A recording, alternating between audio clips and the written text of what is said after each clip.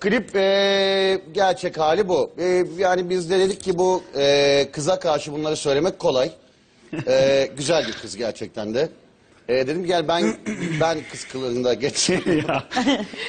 Doğru, enteresan bir sonuç. Yani, abi kız orada biraz da boynu bükük duruyor. Tabii böyle duruyor da yani belki başka tepkiler de verilebilir diye şarkıya. Bir izleyelim hep beraber. Ben olsam ne olurmuş?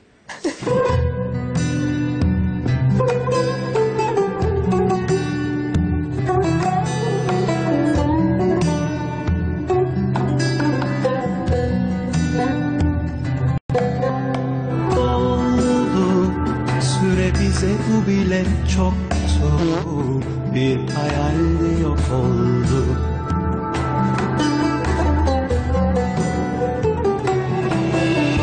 Sus doğru yalan ne fark eder? Bak bir aşk Başlamadan böyle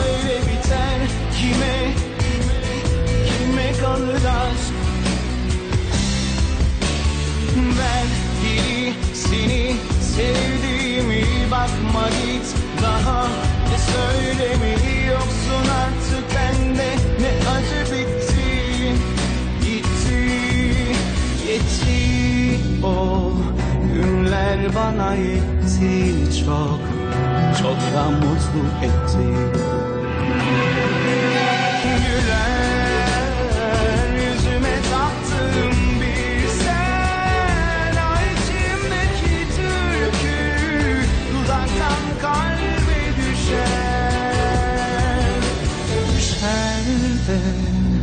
Hani bir gün olur da Azrail bana güler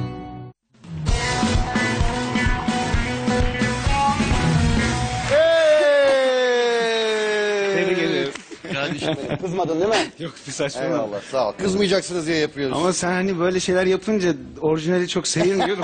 Ondan dolayı bir sıkıntı Aa, yaşadın. Yeni parçaya elleşmedik. Parça Ya, 2010'un eyvallah, parçası diye yani hani yoksa Teşekkür ederim. Çok Sertab güzel Erener'den olmuş. ağzınız yandı yani. Hangi parça abi?